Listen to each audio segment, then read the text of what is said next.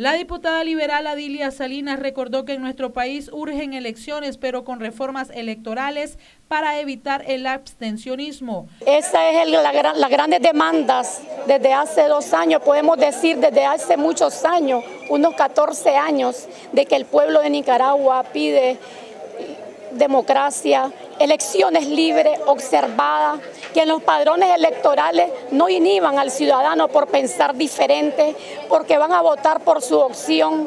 Nosotros lo que estamos demandando y lo hemos visto en todos los diferentes medios de comunicación y actores sociales, de que estamos preparando ese gran documento de las reformas electorales.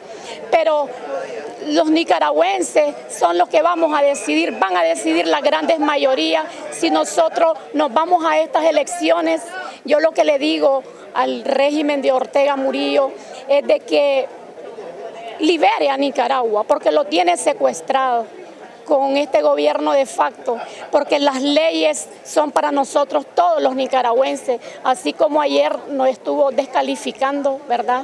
Hasta la misma Iglesia Católica, ¿qué podemos esperar nosotros de la señora Rosario Murillo?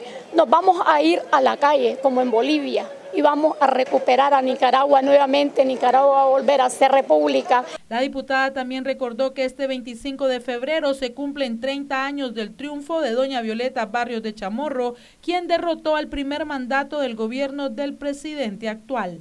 A 30 años eh, de esa, esas elecciones históricas en Nicaragua, donde ese pueblo un 86% se desbordó en Nicaragua para salir a votar en contra de este mismo régimen, cuando el pueblo de Nicaragua estaba siendo asesinado, como hoy, similar también, esos más de 50 mil muertos que dejó esa guerra en Nicaragua.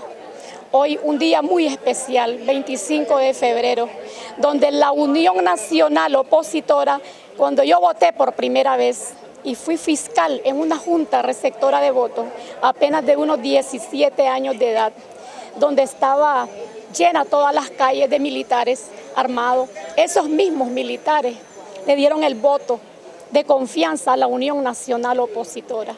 Para Noticias 12, Castalia Zapata.